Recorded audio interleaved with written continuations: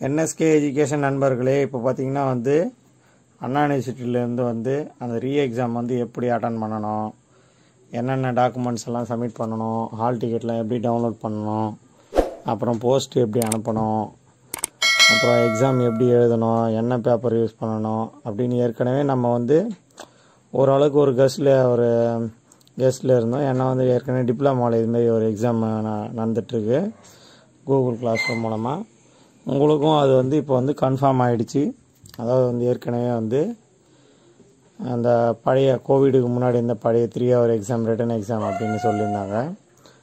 So அதே method தான் சொல்லியிருந்தாங்க. இப்போ பார்த்தீங்கன்னா கிளியராக அந்த இன்ஸ்ட்ரக்ஷன்லாம் கொடுத்துருக்காங்க. ஃபஸ்ட்டு வந்து இம்பார்ட்டன்ட் இன்ஸ்ட்ரக்ஷன் அப்படின்னு சொல்லிட்டு raise number name of the student email ID phone number இந்த டீட்டெயில்ஸ் எல்லாமே வந்து பார்த்திங்கன்னா எக்ஸாமுக்கு நீங்கள் அப்பியர் பண்ணுறதுக்கு முன்னாடி ஸ்டூடெண்ட்ஸ் வந்து ஃபைனலாக எந்த காலேஜில் படிச்சிங்களோ அந்த காலேஜ் பிரின்ஸிபல்ஸுக்கு வந்து அவங்க ஒதுக்கின ஃபாக்கல்ட்டிஸுக்கு வந்து நீங்கள் வந்து சென்ட் பண்ணணும். ஓகே அப்படின்னு சொல்லியிருந்தாங்க. நெக்ஸ்ட்டு பார்த்தீங்கன்னா அவங்க தான் கொஷின் பேப்பர் வந்து உங்களுக்கு அனுப்புவாங்க. அதை நீங்கள் டவுன்லோட் பண்ணி எழுதி சாஃப்ட் காப்பியை வந்து பிடிஎஃப் இது பண்ணி நீங்கள் சென்ட் பண்ணணும் அப்படின்னு வந்து கொடுத்துருக்காங்க.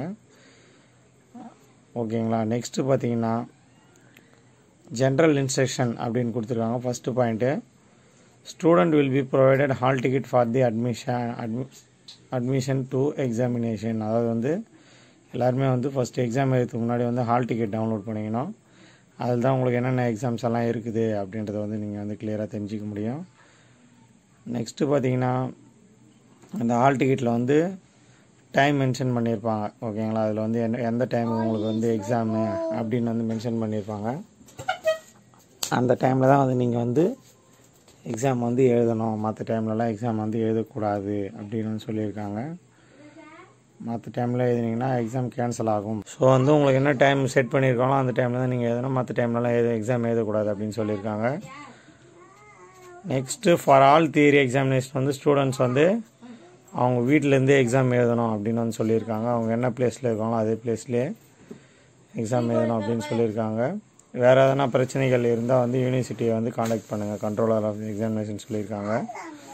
நேமோ மற்ற டீட்டெயில்ஸோ வந்து தப்பாக இருந்தால் அப்புறம் வந்து ஸ்டூடெண்ட்ஸ் பார்த்தீங்கன்னா நெக்ஸ்ட்டு பார்த்தீங்கன்னா வந்து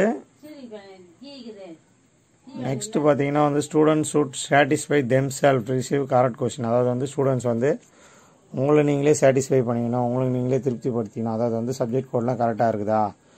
அப்படின்னு வந்து சொல்லியிருக்காங்க. நெக்ஸ்ட் பாயிண்ட் பார்த்தீங்கன்னா ஸ்டூடெண்ட்ஸ் வந்து instructed leave not to leave any blank pages answer script அதாவது வந்து எ- எந்த பேஜுமே வந்து நீங்கள் வந்து எம்டியாக விடக்கூடாது. எக்ஸாம் முடிச்சுட்டு அந்த பேஜ் எதனா எம்டி இருந்தால் அதை வந்து ஸ்ட்ரைக் ஸ்ட்ரைக் பண்ணும் அப்படின்னு சொல்லியிருக்காங்க. கோடு போட்டு நான் குறுக்கல அப்படின்னு சொல்லியிருக்காங்க. ஆன்சர் வந்து blue or black ball point பெனில் தான் எழுதணும். ஜெல் பென்லாம் கூட எழுதக்கூடாதுன்னு சொல்லியிருக்காங்க. அதான் இங்கு இங்கு ஆர் பால் பாயிண்ட் பென் அதுதான் எழுதணும் அப்படின்னு சொல்லியிருக்காங்க. Writing wrong digit number subject code இதெல்லாம் பார்த்தீங்கன்னா வந்து ஆன்சர்ஸ்க்கு புக் வந்து ரிஜெக்ட் பண்ணுறாங்க அப்படின்னு சொல்லியிருக்காங்க.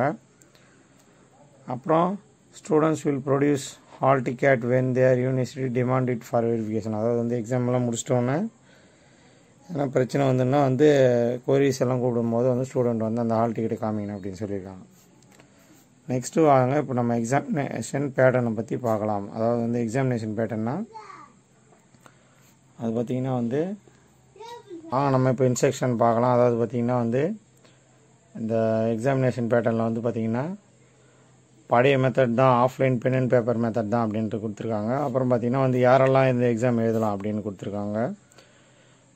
அதாவது வந்து ஏற்கனவே ரீ எக்ஸாம் அந்த நவம்பர் டிசம்பரில் ஃபீஸ் காட்டினவங்க அப்புறம் இப்போ அப்ளை பண்ணுறவங்க அப்புறம் ஏப்ரல் மே எக்ஸாமினேஷனில் வந்து இந்த வந்து பிஜி தவிர்த்து செகண்ட் செம் பிஜி தவிர்த்து மிச்ச பேர் இருக்கிறவங்க அப்படின்னு மென்ஷன் பண்ணியிருக்காங்க.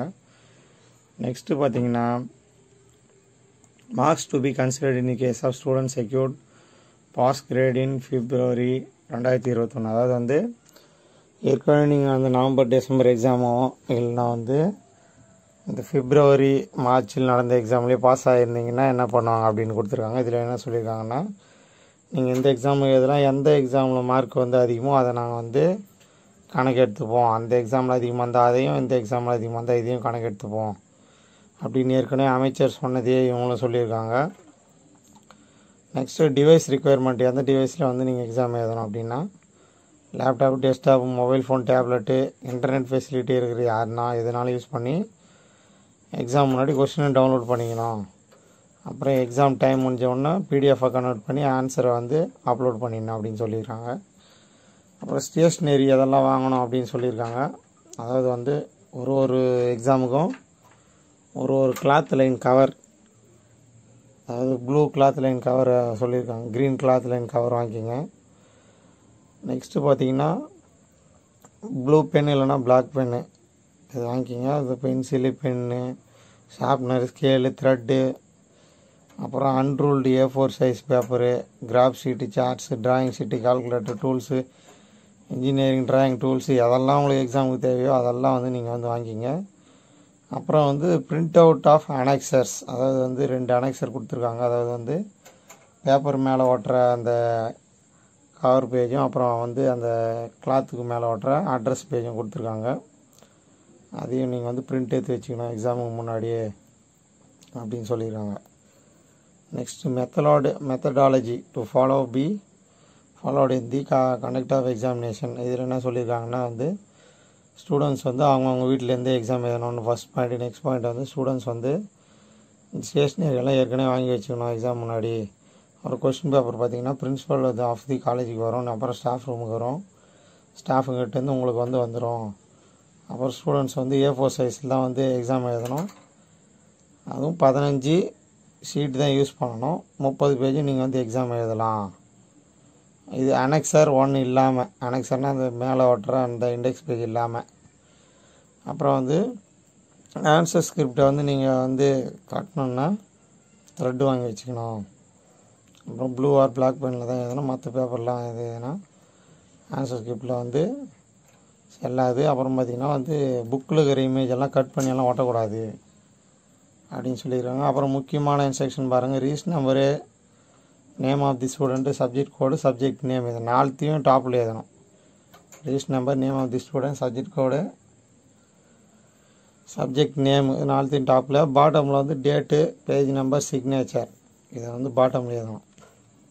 டேட்டு பேஜ் நம்பர் சிக்னேச்சர் அப்புறம் வந்து எக்ஸாம் எழுதி முடித்தோன்னே ஸ்டூடெண்ட்ஸ் வந்து ஆன்சர் ஸ்கிரிப்டை ஸ்கேன் பண்ணி பிடிஎஃப் மாதிரி ரெடி பண்ணி அதுக்கு பேர் செட் பண்ணோம். அந்த பேரில் பார்த்தீங்கன்னா register number hyphen subject code dot PDF இப்போ வந்து நூறுன்றது ரிஜிஸ்ட் நம்பர் நூறு ஐஃபன் ஜி ஃபோர் ஃபோர் ஃபோர் அப்படின்னு ஒரு சப்ஜெக்ட் கோடுனா போட்டு பிடிஎஃப்னு சேவ் பண்ணிக்கணும். அப்புறம் அறுபது நிமிஷத்துக்குள்ளே நீங்கள் வந்து அப்லோடு பண்ணிடணும். அந்த இதை வந்து பிடிஎஃப் வந்து அப்லோட் பண்ணிடணும். அறுபது நிமிஷம் ஒன் ஹவருக்குள்ளே அப்புறம் வந்து டிஸ்பேச் அன்றைக்கே டிஸ்பேச் பண்ணணும். கொரியர் கூட அனுப்பலாம்னு சொல்லியிருக்காங்க. ஸ்பீட் போஸ்ட் ரீஸ்ட் போஸ்ட் எதனாலும் அனுப்பலாம். எந்த காலேஜ் படிக்கிறீங்களோ அந்த காலேஜுக்கு அனுப்ப சொல்கிறாங்க ஈவினிங் டைம் லேட் ஆச்சு. கொரியர் ஆஃபீஸ் எல்லாம் மூட்டாங்கன்னா மறுநாள் காலையில் வந்து போஸ்ட் ஆஃபீஸோ கொரியரோ ஏதோ ஒன்று போட்டு அனுப்பிச்சிடணும். பிரின்ஸிபலுக்கு அனுப்பிச்சிடணும் அப்படின்னு சொல்லியிருக்காங்க. செப்பரேட் போஸ்ட் கவர் ஒரு ஒன்றுத்துலேயும் வந்து தனித்தனியாக செப்பரேட் போஸ்ட் கவர் வந்து போட்டு நீங்கள் அனுப்பிச்சிடணும். அப்புறம் வந்து யாரெல்லாம் வந்து ஆன்சர் ஸ்கிரிப்டே வந்து அறுபது நிமிஷத்துக்கு மேலே ஆகுதோ அவங்களுக்கு வந்து பேப்பர் வந்து வேல்யூ ஆகாது அப்படின்னு சொல்லியிருக்காங்க. நெக்ஸ்ட்டு வந்து பார்த்திங்கன்னா வந்து submitting more than copy of answer script அதாவது கூகுள் கிளாஸ் ரூமில் வந்து நீங்கள் பதிவு பண்ணும்போது அதாவது ஆன்சர் ஸ்கிரிப்ட் அப்லோட் பண்ணும்போது ரெண்டு மூணு தடவை அப்லோட் பண்ணிட்டீங்க. அதாவது வந்து அது எப்படின்னா இமெயில் வச்சு தான் அப்லோட் பண்ணுவீங்க. ஒரே ஆன்சர் ஸ்கிரிப்டை வந்து ஒரு பத்து பேர் இமெயில் வச்சு கூட பத்து முறை கூட அப்லோட் பண்ணலாம். அதுமாரி பண்ணால் மால் ப்ராக்டிஸ் ஆகிடும் அப்படின்னு சொல்லியிருக்காங்க. ஸோ எல்லாமே வந்து ஹோம் மோடில் நடத்தினால எல்லாருமே வீட்டிலேருந்தே எழுதணும். ஸ்பீட் போஸ்ட் கொரியர் போஸ்ட் மூலமாக அவங்க பக்கத்தில் இருக்கிற ஸ்பீட் போஸ்ட் கொரியர் போஸ்ட் போய் உங்கள் இன்ஸ்டியூஷனுக்கு அனுப்பிச்சி விட்டணும் அப்படின்னு சொல்லியிருக்காங்க. வேறு எதனா டவுட் இருந்தால் அந்த காலேஜை காண்டாக்ட் பண்ணுங்கள் அப்படின்னு சொல்லியிருக்காங்க. நெக்ஸ்ட் பாருங்கள் இம்பார்ட்டண்ட் பாயிண்ட்டு எக்ஸாமினேஷன் வந்து ரெண்டு அட்டம்ப்டாக நடக்குது. காலையில் மதியம் அப்படின்னு நடக்குது.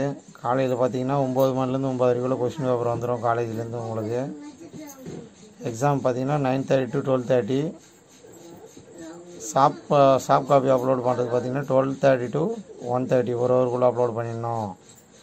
மதியம் பார்த்தீங்கன்னா ரெண்டுலேருந்து ரெண்டரைக்கு காலேஜிலேருந்து கொஷின் உங்களுக்கு வந்துடும்